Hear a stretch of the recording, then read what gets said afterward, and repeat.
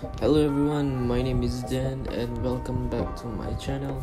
Today I have another uh, tutorial for you guys and today I'll be teaching you guys how to draw like Meyoco. Okay, so who is Meyoco? Um, I don't really know much about her.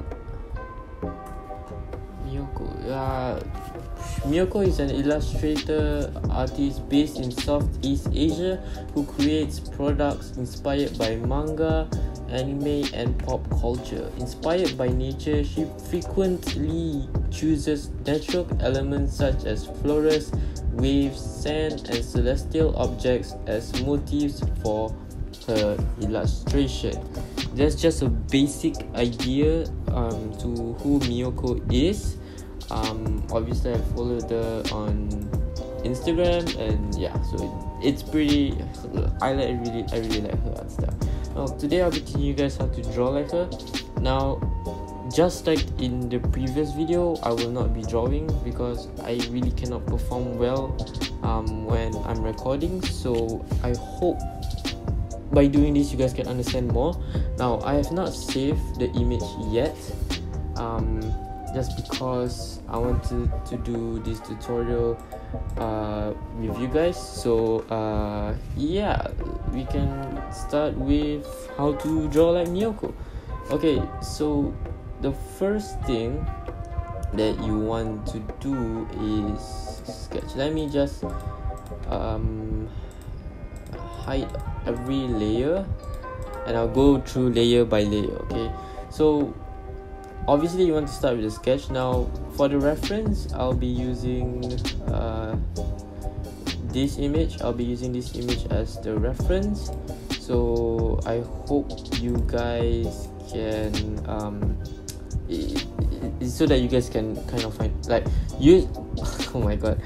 Uh, okay so we're gonna start off with sketch. Now a tip that I can give you guys is always use reference always find references. It's always good that way it's easier that way for you to kind of learn a new art style. So always look for reference and uh, then sketch it out. Uh, sketch it out like I did because sketching helps you adjust. And if you ever need to adjust like the hand or the the, the face or whatsoever you can do it during the sketch layer now once you're done with the sketch layer you want to move on with liner.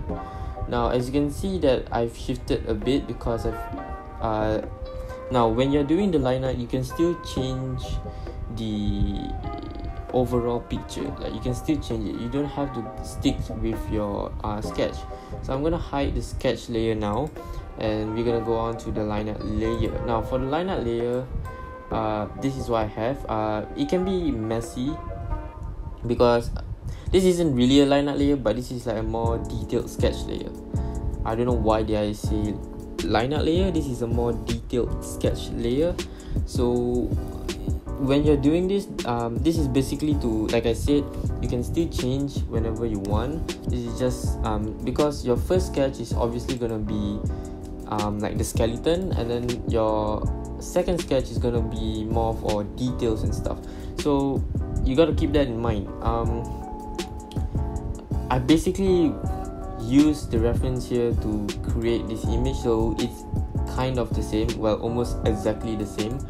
Uh, yeah but by the way i do not trace. I always redraw all my artworks. I just use them as reference. So credit goes to meyoco for drawing um, this artwork so now that you're done with sketch on sketch layer if you got a reference um, you can use it. If you don't you can make it up yourself. But once you have your sketch layer um, yeah, I mean a detailed sketch layer then you can move on to uh, to line art. Now before we move on to line art a, a quick tip, a quick tip that I can teach you is flip your canvas. Now flipping your canvas allow you to see things that you don't normally see when you draw because whenever you draw your eye gets um, get gets used to it. So for Krita if you want to flip your canvas you press the key M. And you, if you press M you will flip the canvas. So then you can see like the small mistakes here and there. For this one I've already adjusted the mistake so you don't really see it. I hope not. I don't know. So this is the detailed sketch layer. Now we can move on to the actual um, line art which I don't have because my detailed sketch layer is my line art for now. Because Meyoco when, when you look at Meyoco's artwork she have different color at different parts of her line art so I don't really do that. So what I do is once I already have my detailed sketch layer I can move on to colors now for colors um, I always start off with the skin. Um, picking skin color is kind of difficult. It's really up to um, how or what type of skin color you want because uh, I mean it also depends on the character. This is supposed to be um, Danny Phantom uh, which is the kind of thing that I've been doing on my Instagram right now. So uh, Danny is um, his his color his skin tone is kind of like um, a page color like a, a, a, a yeah like a page like P-A-I-G-E that kind of color. So it's like a almost white but not really. So that's what I go with. Um, as you can see it's kind of like orange. Yeah it's kind of like orange. So we now now that I'm talking about colors then we can move on we can move on up. So after doing the skin I would do the not the eyebrows but the shirt. I'll put in the shirt um uh, for this one I also put in I have also put in the shadow. So this is where the shadow that Meyoco's use so you see the Meyoco's count like the shadow here is the shadow on the arm is the same shadow here and then the shadow on the the upper bot the upper half of the arm is is here. So basically using the reference to mark out my shadow. Now usually when you want to do shadow or lighting you really got to understand where the light is coming from. Let's say um, if the light is coming from here your shadows would be here. And then your light will be somewhere around here. All this area here will be your light that is something you need to keep in mind whenever you're doing uh, whenever you're dealing with light because light can really bring more depth and character into your artwork. Now after that i move on to you know the shirt and then I move on to the yes. Now for the pants now just like Gabriel she likes to use a lot of gradient. Like you can see the gradient in the hair from really light brown to quite a darker brown and from really dark blue to a quite lighter blue. That's what she likes to do. So that's what I did here and for the hair too. So let me go to the hair layer which is here. As you can see I put I have gradient it out. So if you if you want to do this gradient effect what what what I would always recommend is go to the um, sketch detail layer or your line art layer. And then you can go to this um, this button right here. So what does this do? It it basically helps you it's a magic wand. It helps you to kind of um, do the edges. Uh, i'm not edges like select the the lineup that you have and then you can fill it uh, you can go to your color layer I mean your hair layer which is here your hair layer and then you can mess with the color. Now for gradient if you want to do this gradient effect you on Krita you want to go to the left side of the screen and then you want to see this square button with like the gradient from black to white. You want to click that and then now you can do gradient. So I'm gonna quickly deselect that so that's how you do gradient for if you want to create a for Photoshop I don't really know. So you guys got to google that yourself because I don't use Photoshop so I can't really help you there. Now we can move on to other things. Let me see what else am I missing. Oh yeah this is the eyes so I then I do the eyes and then I do the uh, eye color and then I do what the heck is this? Oh yeah so this is just detail this is detail this is line okay so once you have all your colors down you have all your shadows down we can move on to Meyoco's actual line art. So if you see Meyoco's account here that I have, hopefully you guys can see. Yes, you guys can. So as you can see here, on top of the character's head, this is Link. Link's head. Um, you can see the black outline, and then when it reaches to the jacket, it changes color, and it just it changes colors everywhere like it changes color here change color here change color here change color here. Everywhere that it touches a different um color it will change color.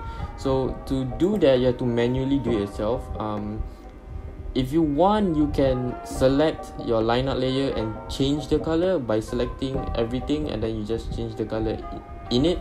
But the way i did it is um I did it by manually doing myself which gives you a cleaner look. So as you can see here uh, it's a different color here it's a different color on the nose the ears uh, the jacket the shirt the pants and everything. So this this um this different color layer is what makes Meyoco's work really really beautiful. As you can see in most not most. All of her work she always likes to do this different color line lineup at different places kind of style. So that is the style that i'm going for.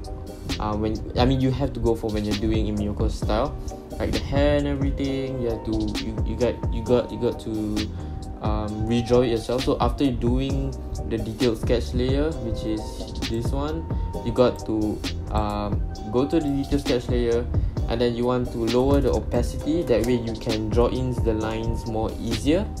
Um, but I already done it so this is what it looks like.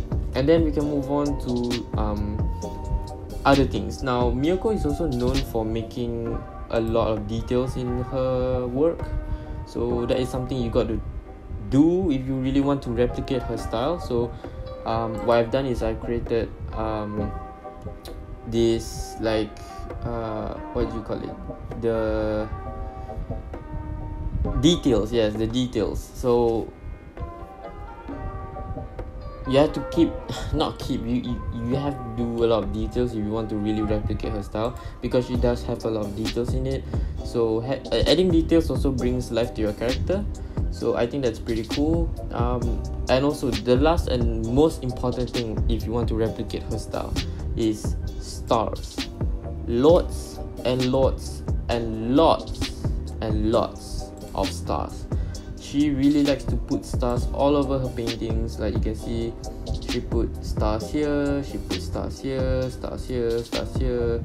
Stars stars stars stars. I don't know if this one has stars but this one has stars everywhere. She put stars everywhere and that's what makes it look more her style which is what i did here now i don't have a lot of detail like she did for her link um, picture. Like she have a lot of details here and there but i don't because i don't really because these are the details that um, to, to make your details more more feels more um, cool i would say is adding details that's related to the character like because this is link. So everything you see here is connected to him.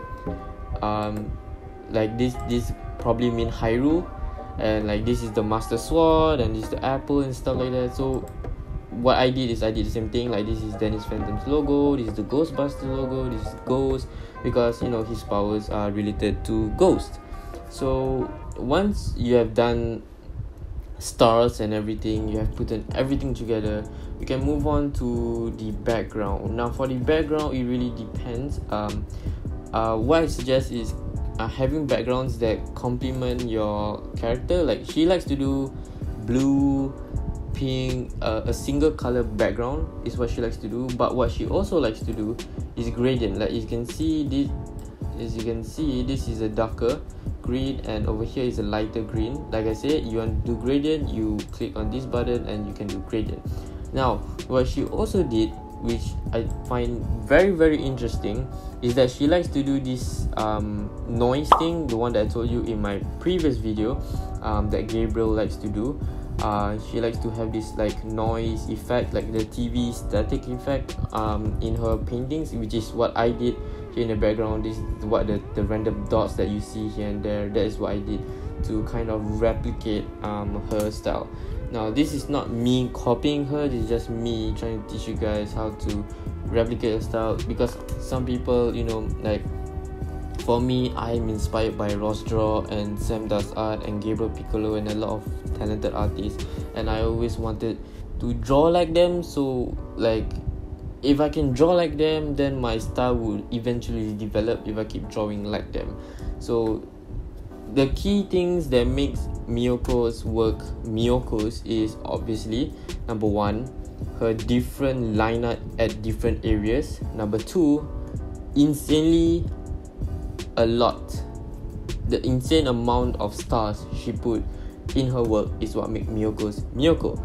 And then number three, gradient, and number four, the random noise effect. You combine all this together and you get Meyoco's style now i hope you guys learn a thing or two um drawing i mean not drawing but me explaining um the different part uh, of what makes Meyoco styles. Meyoco i'm sorry i'm talking so long um i really like doing this. If you guys really if you guys have any other artists that you guys want me to kind of um, replicate their style and teach you what i've learned like i've learned how to do these different liner at different parts of the area. I've learned um, that stars looks beautiful. I've learned um, the gradient between colors like the gradient in the hand and the gradient in the background and kind of stuff. So i learned a lot by kind of studying other artists. So if you guys want me to kind of teach you any other artists you have any other artists in mind um, tell me in the comment section down below and I'll try to replicate it and hopefully teach you guys from teach you guys what I learned from replicating their style. Um, like the little tricks and stuff like that. So if you guys really if you guys like the piece and you guys want to you know help me out you guys can follow on my instagram. This will be posted on my instagram very very soon. I have not saved it yet just to do this tutorial so i hope you guys liked it. If you guys do um please make sure to hit the subscribe button please like this video if you guys you know enjoy it and uh, follow me on my instagram. Also we are now at 98 subscribers. If you guys can help me reach 100 that would be amazing. And uh, my instagram is uh, if you guys want to follow you guys can. I'm almost at 150 followers. If you guys can help me out that would be amazing. I have all my artworks here. You know i do a lot of different style and stuff. So if you guys really like what i do follow me there. Anyways thank you guys so much for watching to this video and i hope to see you guys in the next one. Peace